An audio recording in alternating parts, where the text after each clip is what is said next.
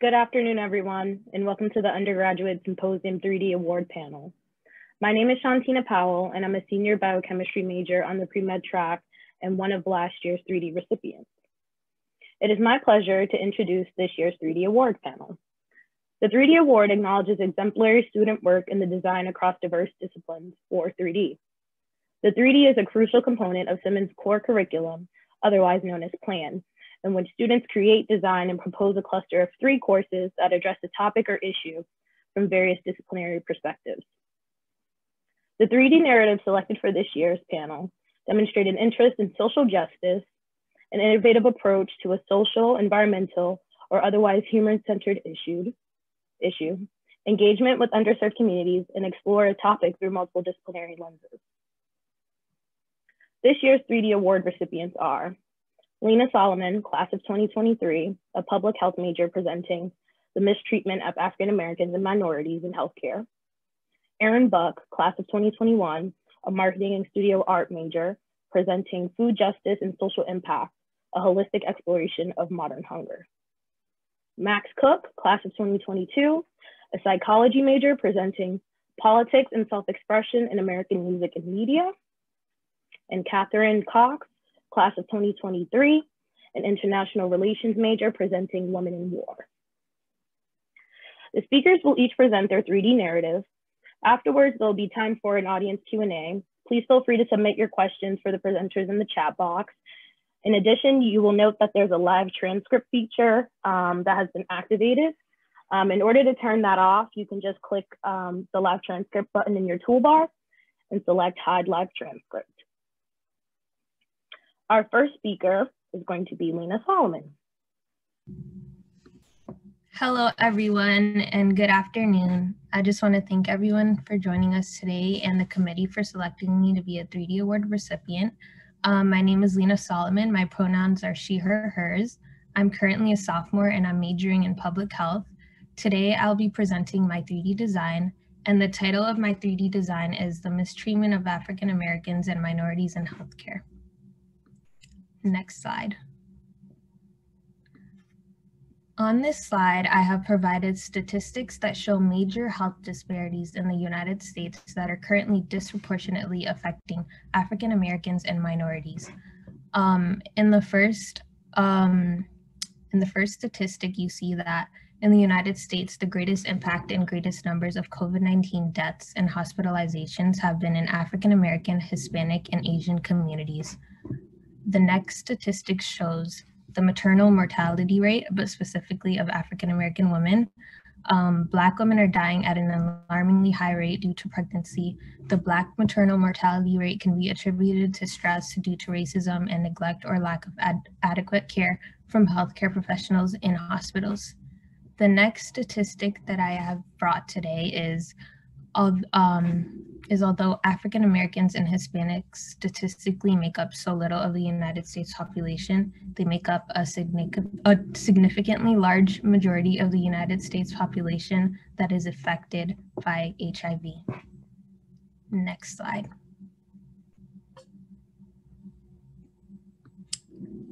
As soon as I had found out about the 3D design, I almost automatically knew what theme I was going to pursue. I've always been very passionate about the healthcare field ever since I could remember, and it wasn't until recent years that I began I began to hear about the fatalities that many Black women face during childbirth, and it was very sad for me to read about these things and just feel helpless, and and it also worried me because I am an African American woman, and the fact that I hadn't heard of this had really concerned me. Um, I've always aspired to be a doctor, and ever since I had taken sociology, health, illness, and society, my love for public health had grown immensely. I believe that the mistreatment of African American people and minorities is a major public health issue, and there is history that backs this up as well. And I was able to learn a lot about the difficult relationship that African American people have with their healthcare providers and how it spans through hundreds of years. My hopes and aspirations are to be a part of the change in healthcare that will help people of color become more confident in their healthcare professionals. Also, I aspire to be a part of the change that will dismantle institutionalized racism so that people of color have access to the healthcare they deserve. Next slide. My 3D design consists of a cluster of three courses. The first course that I have included, which I have already taken, is Africana Studies 211, Urban Medical Communities. The next course is Public Health 101, which I'm currently taking. The last course that I have added is Sociology, Race, Gender, and Health, which I will be taking in the future. Next slide.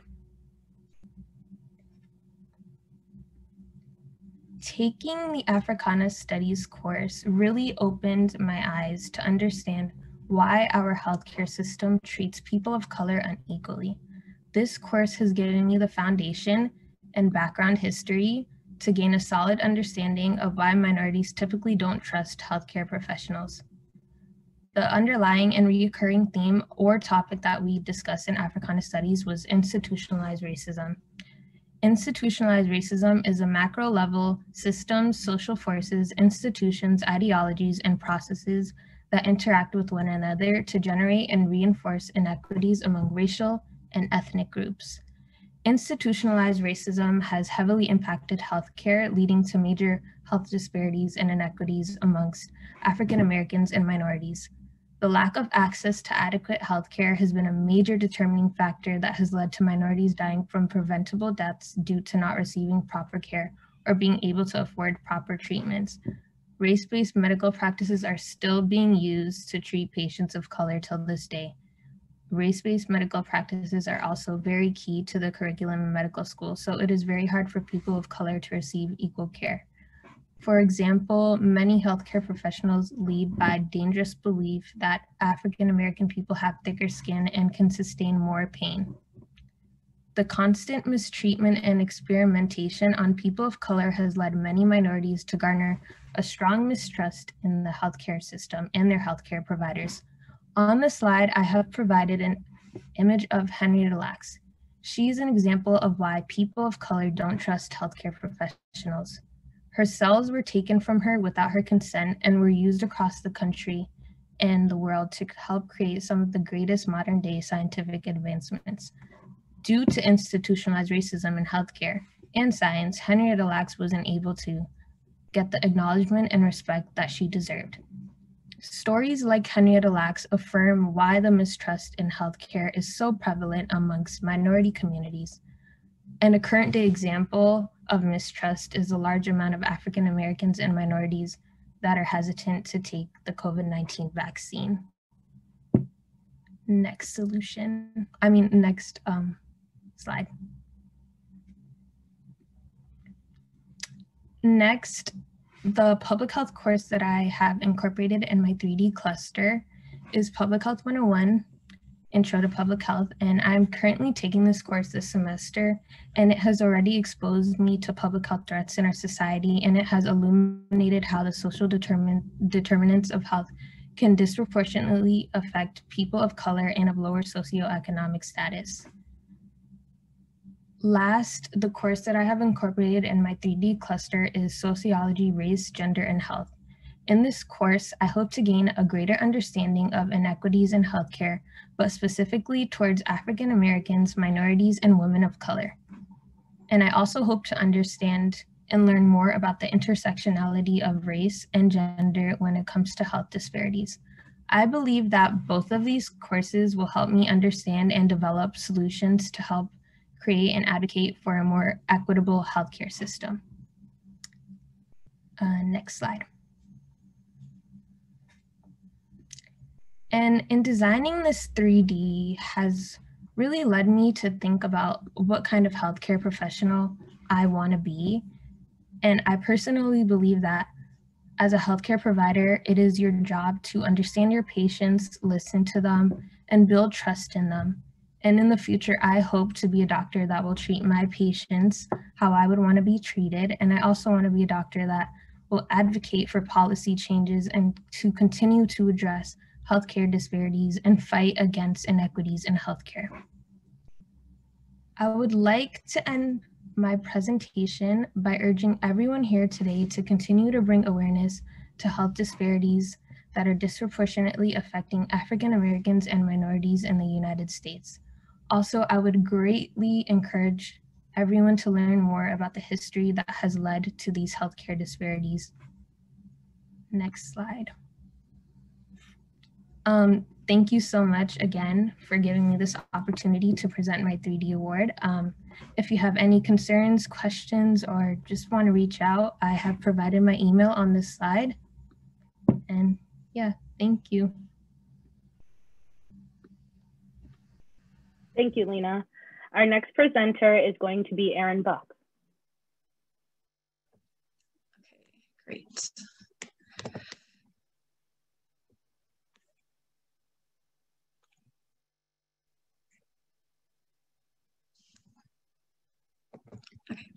Hi, um, I'm Erin Buck, a marketing and studio art double major graduating this May, um, and I use she, her pronouns.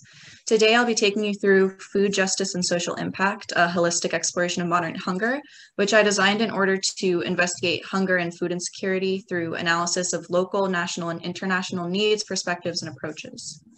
On the next slide, I have a quick agenda. So I'll be going over a brief overview of the issue. Um, I'll be also demonstrating a visual just to give more of a uh, well, visual representation of the problem at hand. Um, I'll be going over my 3D design, my reasoning and takeaways, and then I will be concluding. So First, I'll start with a brief overview. Um, so a major challenge when attempting to address global hunger is the scale of impact as we're seeking to solve this complex and persistent issue within our own communities, but also in communities abroad. Um, while the causes may range greatly, we have continued to observe a drastic increase in the number of individuals and families experiencing hunger and food insecurity each year. And currently, the UN predicts that global hunger will affect about 840 million people by 2030. In light of the effects of the COVID 19 pandemic, access to nutritious food has become even more limited for those already or newly experiencing poverty. Next, we will look at a visual pertaining to 2020 undernutrition rates.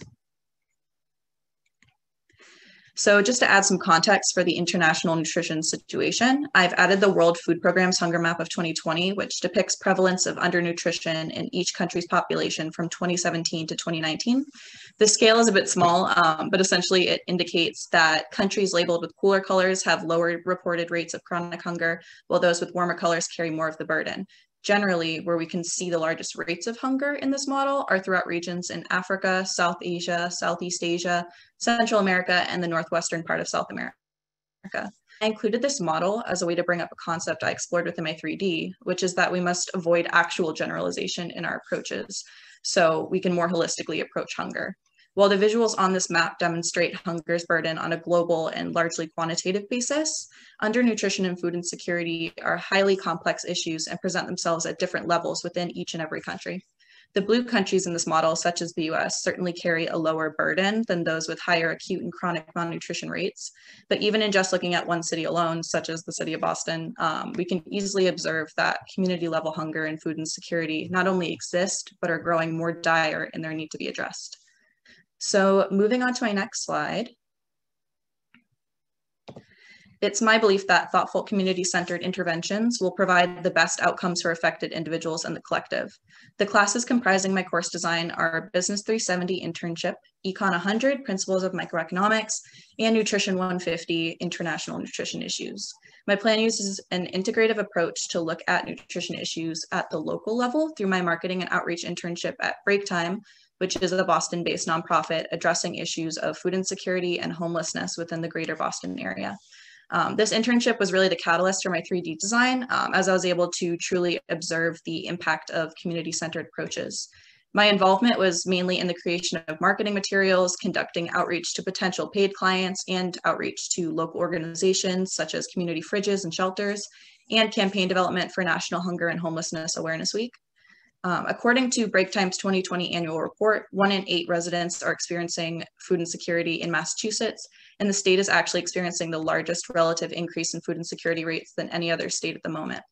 Um, I'd also say that the work being done at break time is both nutrition specific and nutrition sensitive, um, and nutrition sensitive interventions would relate to factors that may indirectly affect access to food like employment and health services. So in their nutrition specific interventions, interventions. They've delivered over 650,000 nutritious, nutritious meals during 2020 to residents within Greater Boston that are experiencing food insecurity. And in terms of nutrition sensitive interventions, they provide paid culinary training and employment, financial empowerment programming, um, and just other different career exploration and um, just financial related programming. Um, and they also provide assistance in acquiring housing and provision of emotional support as well. Um, associates and the communities being served are really intertwined, and the goal is to build resilience in both individuals within the programs and the communities they serve. At the national level, I examined um, certain things within principles of economics. Um, so the course description of Econ 100 explains that it addresses debates about whether market capitalism provides the best institutional context for organizing the production, distribution, and consumption of goods and services. So essentially, I decided that I wanted to assess the effectiveness of economic policy in relation to social issues such as food and housing insecurity, and also assess the role of government policy and how our food systems are set up.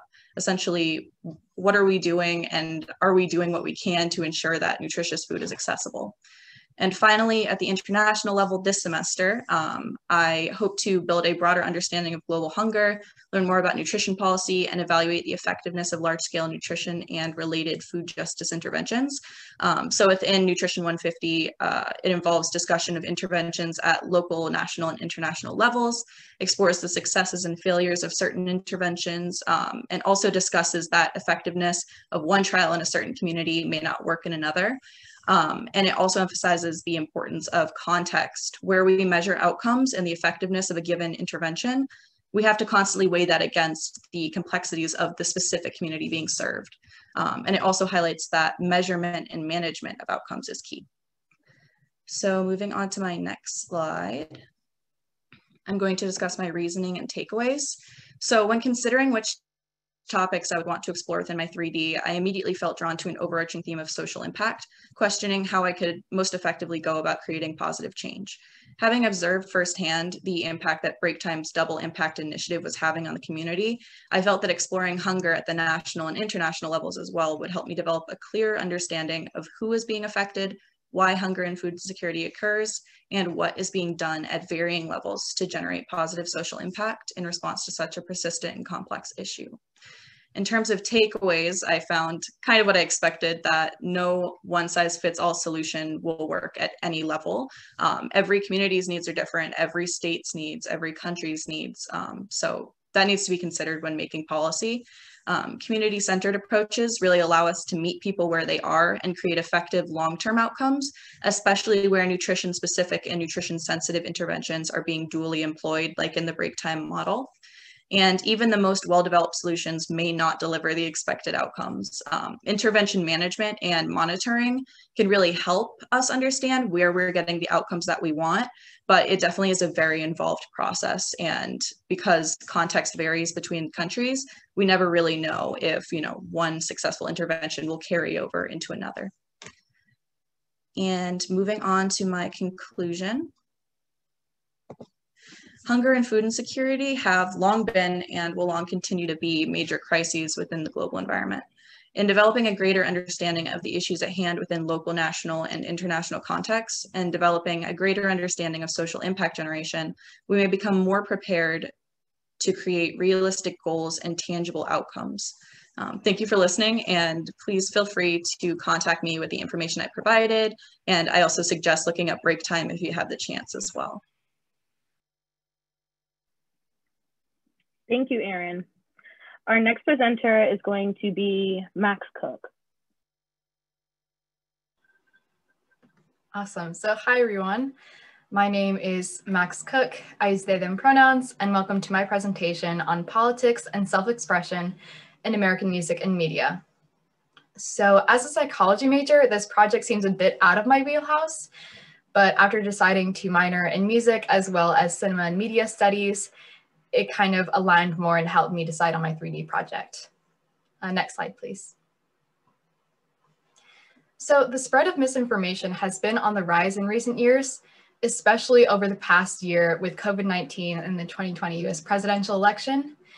As you can tell by this graph from BuzzFeed News, misinformation surpassed mainstream news content on Facebook by 1.4 million media engagements by the end of the 2016 US presidential election and this has only gotten worse in recent years.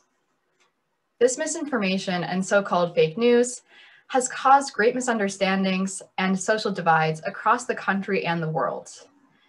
This problem and my academic interests in the humanities led me to choose the courses for my project that helped me better understand this complex issue and how to combat it through creative media. Next slide. So the courses I chose for this project include Media, Messages, and Society, or COM 124, Music in America, or Muse 222, and Resist, Political Resistance in Global Literature and Film, or ENGLE 223, which is a special topics course in the English department. Additionally, I completed a research project on misinformation through my research methods in psychology course, or Psych 203. Next slide. So after taking a course the spring semester of my sophomore year called Media, Messages, and Society, I began to consider the narratives and intentions of different media more deeply and analytically, including marketing advertisements, political propaganda, documentaries, and news articles, among others. I further explored that through a research project in the fall semester during my research methods and psychology course, where I studied and conducted a mock experiment on the believability of fabricated versus genuine news headlines. Since I already had academic interest in music and other media, I decided to incorporate another course I was taking that fall, Music in America, in which we learned about expression as well as politics through music throughout American history. Through this course, we studied Civil War mar era marches to election propaganda songs, and from Appalachian folk music to American musicals. Throughout US history, ordinary people and professional composers alike used music as a form of political as well as personal expression. This then led me to my third class, which I am taking this semester, called Resist, Political Resistance in Global Literature and Film. This course has shown me the political activism and resistance that have taken place in history as well as recent resistance, from the punk performance art activism of Pussy Riot in 2012 to the Selma marches of the civil rights movement in 1965, which we'll see on the next slide.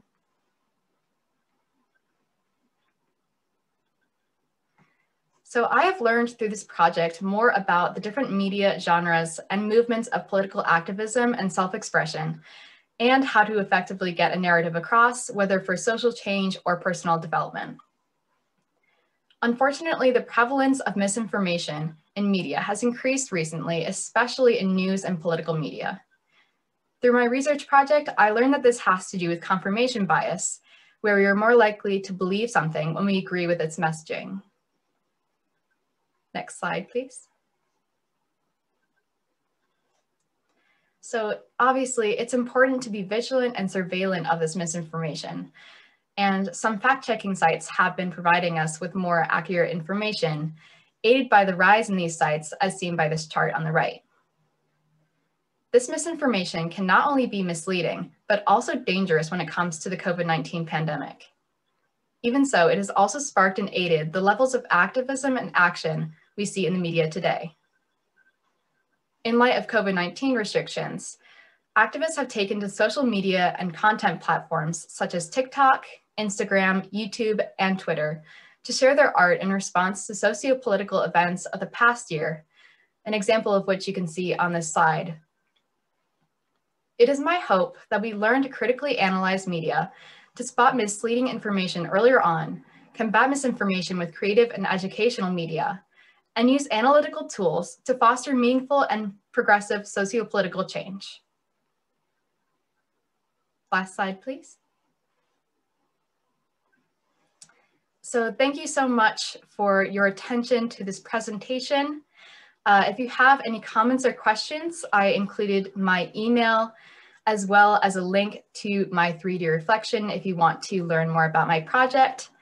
Additionally, you can ask any questions in the chat and also during the Q&A at the end of this panel. Thank you so much. Thank you, Max. Our last and final presenter will be Catherine Cox. Thank you so much. Um, for those who don't know me, I'm Catherine Cox. I'm a sophomore studying international relations as well as economics and Arabic. Um, and I was so honored to win this award for my 3D design Women in War. Through the courses I proposed, I hope to gain a multidisciplinary understanding of the way that women and girls suffer disproportionately in conflict scenarios and how this drives women's views on peace building and conflict resolution. Next slide. According to Professor of International Relations Laura J. Shepherd, gender as we know it is not a concrete truth about the human state. Rather, it is a construct that is solidified through repetition and passed down from one generation to the next. Both the masculine and the feminine are notions of gender that are socially created and practiced by individuals.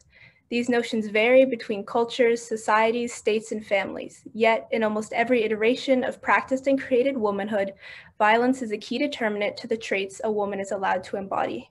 From the mass rape of civilians by American soldiers in My Lai to the fact that the vast majority of refugees from conflict are women and children, it is an understood global norm that when conflict occurs, it is women who have to bear the greatest burden. Through my proposed courses, I hope to gain a better understanding of the way that the body constructed as female suffers disproportionately in conflict scenarios and how this drives women's views in conflict resolution and long-term peace building. As Nobel Prize winning activist Leymah Gbowee once said, Women are the ones who bear the greatest burden. We are also the ones who nurture societies. Through my studies, I'd hope to explore the roles of women and girls in conflict in order to understand the different ways in which they're involved in and affected by armed conflict, as well as examining the ways in which gender roles themselves are changed as a result of conflict. And in order to achieve these learning goals, I propose to take two key courses and one internship to help expand my understanding of this phenomenon. Next slide. So the two courses I proposed to take for Women in War were Women, Nation, and Culture and Feminist International Relations. Women in Gender Studies 200, or Women, Nation, and Culture, focuses on the issues pertinent to women's experiences in various cultural, national, and transnational contexts. In this class, I will have the opportunity to analyze the historical and modern experiences of women and their relationship to the state. This class will also allow me to explore the overlapping burdens and intersection, intersecting oppressions created by colonialism, classism, and racism, and how they pertain to a woman's relationship to the state. Political Science 356, or Feminist International Relations, analyzes global politics from a feminist perspective and a gendered perspective on foreign policies, the conduct of war, military, and prospects for development. Through this course, I will study how women are affected by war crimes, genocide, trafficking, and other international conflicts, as well as their role in building global peace. Next slide. Additionally, during my time completing the Simmons 2021 Spring Global Virtual Internship Program, I worked as an intern in women's rights and resilience in conflict situations in Cameroon. Through this virtual program, I was able to examine issues at the intersection of peace, security, human rights, and gender studies, as well as exploring the gender dimensions of conflict by state and non-state actors. During this internship, I had the privilege to work with the Bindumlem Humanitarian Association of Peace and Hope, which is a grassroots NGO working to mitigate the effects of the ongoing Anglophone crisis and COVID-19 crisis on women in the Northwest region of Cameroon. Their organization provides crucial services such as food, shelter, and resources to women affected by the Anglophone crisis, as well as working to empower women on the ground to take control of their lives and become advocates for peace.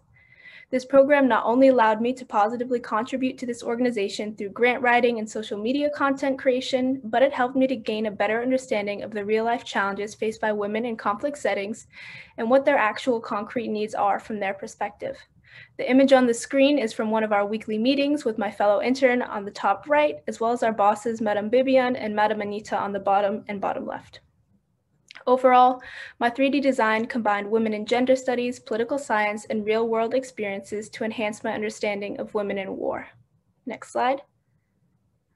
One of my major takeaways from this exploration and the connections I made through Simmons to other professors such as Professor Kais at Thomas Jefferson University have led me to begin to explore what some call the queering of gender and conflict studies. Using the theories developed by scholars studying women and conflict, this field, still in its infancy, explores how queer and trans individuals are impacted by conflict, how they are impacted by migration and their experiences in diaspora communities, as well as what their unique needs are in and out of war.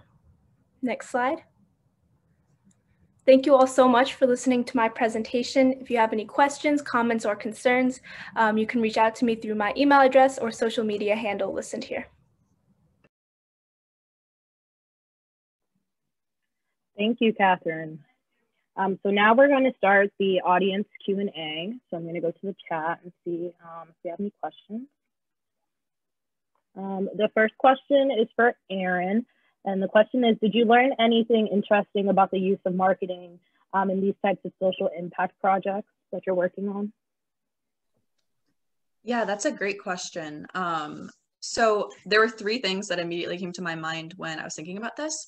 Um, first is the question of ethics, um, just because a lot of the marketing that I did um, was done, you know, interviews with associates that we were helping, interviews with people that we were assisting, um, photography, that kind of thing. So when you are you know, taking part in marketing ethics is kind of always at the forefront of your mind. So you want to make sure that in this case with social impact you know the associates that are being spoken to like you know are they consenting to being involved in marketing efforts? Are we making sure that they feel supported and you know fairly represented in the materials we're making? Um, so that was definitely a huge focus of mine and i feel like it is a bit different than you know in a for-profit marketing type situation. Um, another big thing was strategic partnerships. I found that you know as opposed to working in just a standard for-profit marketing area when you're working with social impact and you're trying to a get donors and b like make change you need to make strategic partnerships with other nonprofits and organizations in the area. And also um, for profits they're going to help either fund or um, you know repost you on their pages so that their larger audience can see and possibly become donors. Um, so that was really a huge part. And I didn't think that outreach and that kind of area would be such a huge part of my internship, but it did end up um, being really important, especially during um, our National Hunger and Homelessness Awareness Week efforts. Um, and then the last thing I want to mention, actually kind of tied into Max's presentation, but you know, viral marketing and you know, figuring out how we're going to make content that can easily be shared across different platforms um, was huge. This year, we definitely saw um, like social impact um, posts and stuff like that being shared more commonly. So that was an interesting thing to kind of think through and figure out how we could get the most shares and the most engagement with the content we were making, um, especially during that campaign that we did. Our next question is for all of the panelists. Um, what advice would you give to other students putting together their 3D? I could go ahead and answer that. I would say like just for myself being a very busy student, like having a major and then at the point I was writing my 3D, I was planning on triple minoring and now it's only like double minoring but definitely like take advantage of your academics. Um, and even if they're like vastly different, like for myself, like being a psychology major and then having two like more humanities based minors, I was having trouble like kind of bringing those together. But then when I was like looking into more like cognitive psychology with that misinformation and media, it all really came together when I started to find the similarities instead of focusing on the differences between those academics.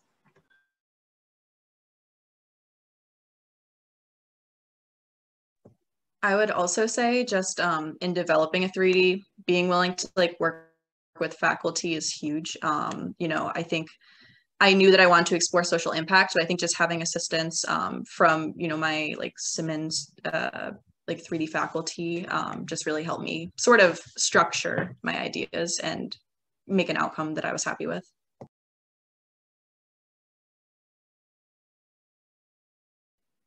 Um, I'll move on to the next question. Um, this question is for Max. Um, have you found music to be use, a useful means of expression for your own personal political ideas? I would say definitely. Um, as a songwriter, I have like a bit of difficulty writing on like more real life situations and focus more on like vague ideas. But in terms of like music consumption that I've found over the past few years, I would say definitely. Um, I know I mentioned Pussy Riot, that performance group in my presentation. They actually put out a song over um, the 2016 presidential election with like the same title as the slogan make america great again with like talking about um, different human rights issues going on in the united states and over the globe. So i found that really powerful especially like since they use the same slogan as the trump campaign. And then also um, a really great song that i found on tiktok in order like to combat um, COVID-19 misinformation. It's a song that like when the pandemic isn't over just because you're over it. And I found that to be very like, first of all, very catchy. And since it went so viral and reached so many people, I'm sure it definitely like changed minds and really helped to solidify and really combat all that misinformation in media. The next question is going to be for Catherine. Um, this person wants to know um, what you may have learned or are planning to learn about differences in the way women and men tend to approach conflict, um, in addition to the differences you note and how each are affected by conflict. Yeah, um, so I would say while working at the Bindumlem Humanitarian Association of Peace and Hope, um, one of the things they really highlighted um, was the fact that women are often disproportionately impacted by conflict. Um, they face higher rates of sexual violence, trafficking, displacement, and they're often left out of the peace building process. Um, but at the same time, um, women are also not just victims, but they are, you know, tools of empowerment in their community for supporting reconciliation and supporting peace. Um, but despite the fact that women are often leaning towards peace and are crucial peace builders, um, a lot of times they are left out of peace talks between major groups. Um, their voices are not elevated in the political sphere, and this can be a challenge in building regional and global peace um, and also in addressing issues that impact women in conflict.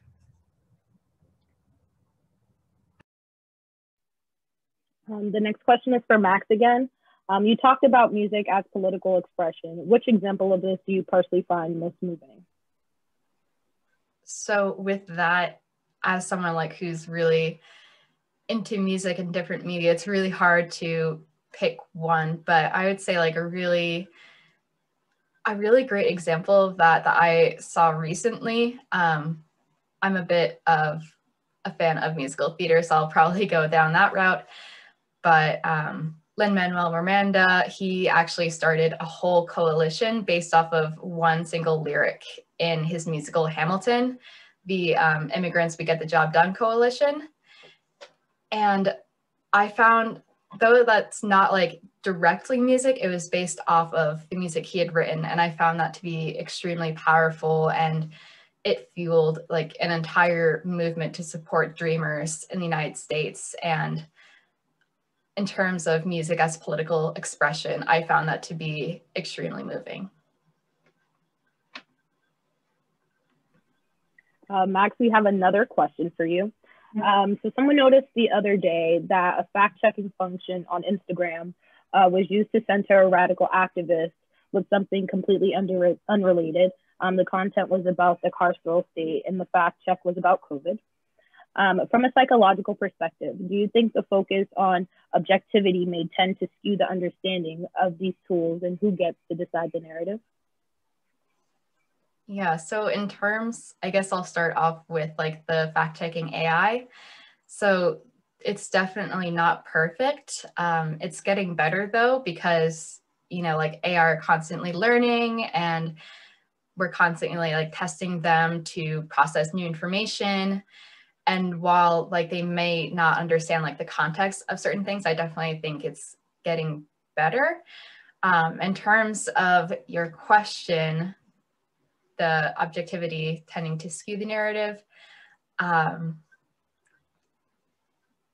I think to an extent, yes. I feel like in terms of like the narrative and the words that people use, those, can, those can definitely like skew the understanding and really make it harder for those AI to get their job done.